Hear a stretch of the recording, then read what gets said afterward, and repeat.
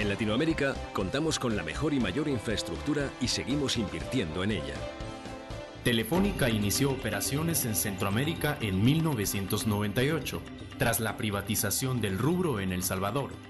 Después se expandió a Guatemala, Panamá, Nicaragua y Costa Rica, consolidándose en el mercado del 2G y 3G.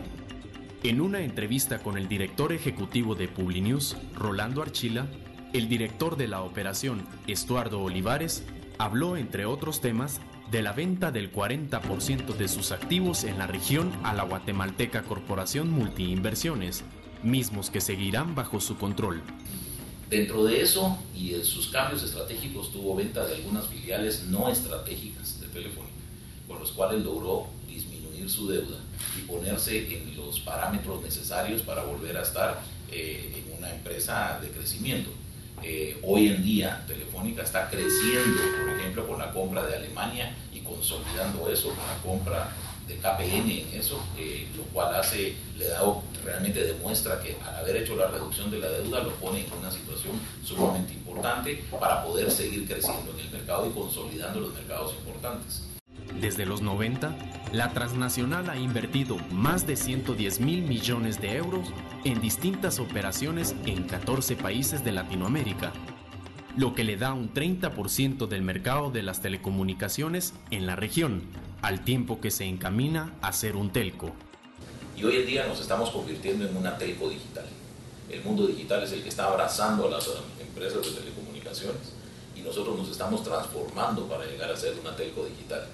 Telefónica a nivel mundial tiene una, una filial o es una de las tres patas que dirigen la compañía, en donde la transformación a digital es vital para mantenernos ahí. No podemos ser únicamente lo que transportamos las telecomunicaciones, sino tenemos que estar dentro del contenido y el desarrollo de ese mundo digital.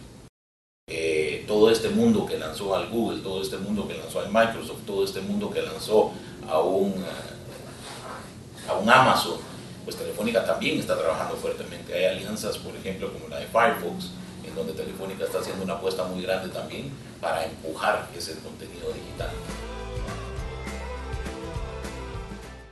¿Cuál es la misión de Telefónica en el área? ¿Desde aquí se maneja Centroamérica? Por la relación que tenemos hoy en día accionaria y los cambios que se dieron, pues evidentemente se está concentrando bastante más en Guatemala porque la, headquarters de, este grupo accionario que ahora participa en Guatemala está, está local, es local, está aquí. Y eso hace pues que se, la balanza se incline un poco para acá. Pero realmente tenemos desarrollos regionales, pero operaciones locales. Una de las preocupaciones de los guatemaltecos es el robo de celulares y la criminalidad que se deriva de esto.